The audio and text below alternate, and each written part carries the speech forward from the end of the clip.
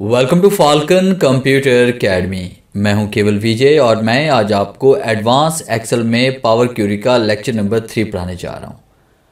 आज हम बात करेंगे कि हम डाटा को किस तरह से रीअरेंज करते हैं। जिस तरह लास्ट लेक्चर में मैंने पढ़ा था कि अगर हमारे डाटा में कहीं पे कॉमा है स्पेस है, या टैब का इस्तेमाल कहीं पर हुआ है तो उसको हम किस तरह से रिमूव करके एडजस्ट कर सकते हैं या रीअरेंज कर सकते हैं। यानी डाटा को हम क्लीन कैसे कर सकते हैं।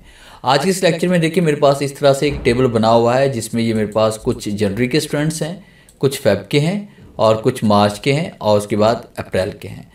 तो मैं ये चाहता हूँ कि यहाँ पे जो जनवरी के मेरे पास स्टूडेंट्स हैं उन सब के आगे जनवरी लिखा आ जाए फेब के हैं जो फेब में लिखा आ जाए मार्च है जो मार्च में लिखा है हमारे पास। और उसके साथ मैं इसका एक पेवर चार्ट भी क्रिएट करना चाहता हूँ। अगर मैं एक्सेल में करूँगा तो ये मुझे काफ़ी टाइम यहाँ पर लगेगा बार बार मुझे राइट करना पड़ेगा। तो इसके लिए मैंने क्या करना है, सबसे पहले मैं डाटा को यहाँ पे सिलेक्ट करूँगा। और डाटा को सिलेक्ट करने के बाद आपने डाटा पे आना है, और उसके बाद हम यहाँ पे क्लिक करेंगे फ्रॉम टेबल रेंज आप जैसे फ्रॉम टेबल रेंज पे आप क्लिक करते हैं तो आपके सामने यहाँ पे पावर क्यूरी के लिए आपके पास क्रिएट टेबल का एक बॉक्स ओपन हो जाता है।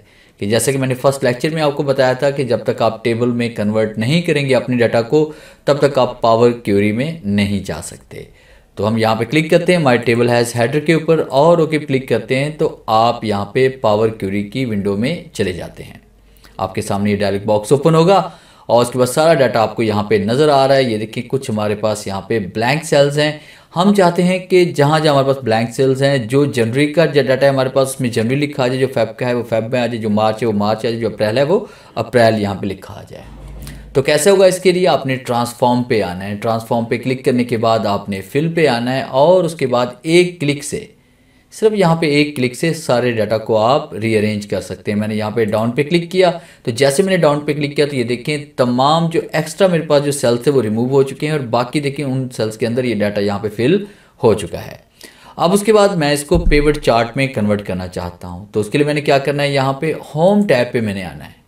और उसके बाद load and close and load पे मैं आऊँगा और क्लोज एंड लोड टू पे हम क्लिक करेंगे। आपके सामने यहाँ पे एक डायरेक्ट बॉक्स ओपन होगा।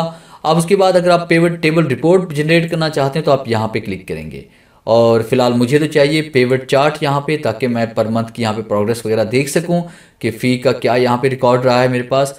और उसके बाद मैं यहाँ पे क्लिक करूँगा एग्जिस्टिंग फ़ाइल और यहाँ पे क्लिक करने के बाद आपने क्या करना है? उस सेल में क्लिक करना है, जिस सेल में आप चार्ट यहाँ पे इंसर्ट करना चाहते हैं। और उसके बाद जैसे हम यहाँ पे ओके क्लिक करेंगे तो आप देखें, जैसे हम ओके क्लिक अच्छा अगर टेबल में अगर आप लेना चाहते हैं तो सब ये टेबल भी यहाँ पे आ सकता है। अगर हम यहाँ पे पेवर चार्ट में लेना चाहते हैं तो पेवर चार्ट पे क्लिक करेंगे और ओके क्लिक करेंगे तो आपके सामने यहाँ पे देखें, ये डाटा मेरे पास इस तरह से शो होगा। अब उसके बाद देखिए, मैंने कोर्स पे क्लिक किया। तो जैसे मैंने कोर्स पे क्लिक किया तो यहाँ पे कोर्सेज आ गए। अब कोर्स के साथ क्या शो करवाना चाहते हैं यहाँ पे? फ़ी शो करवाना चाहते हैं। देखिए फ़ीस में आ गई ऑटो कैड की इतनी फ़ीस जमा हुई जल्ब की इतनी भी ग्राफिक्स की इतनी और ऑफ़िस मैनेजमेंट की इतनी फ़ीस जमा हुई।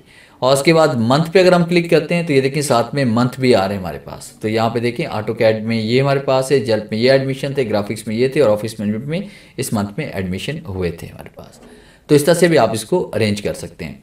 और उसके अलावा अगर आप इसको अलग से अलग से आप इसको शो करवाना चाहते हैं तो वो भी आप बड़ी आसानी के साथ कर सकते हैं। हम यहाँ पे क्लिक करते हैं दोबारा कंट्रोल ए प्रेस करते हैं, आपके पास सारा डाटा सेलेक्ट हो जाएगा। फिर हम डाटा पे आते हैं और उसके बाद हम क्लिक करेंगे दोबारा फ्रॉम टेबल एंड रेंज के ऊपर।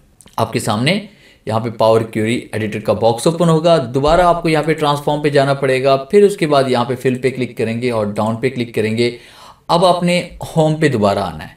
अब क्लोज एंड लोड पे क्लिक करेंगे। अब आपने यहाँ पे क्लोज एंड लोड टू पे नहीं क्लिक करना। अब क्लोज एंड लोड पे आप क्लिक करेंगे। जैसे आप क्लोज एंड लोड पे क्लिक करेंगे और उसके बाद देखें, आपका ये डाटा यहाँ पे देखें, सारा का सारा अरेंज हो चुका है।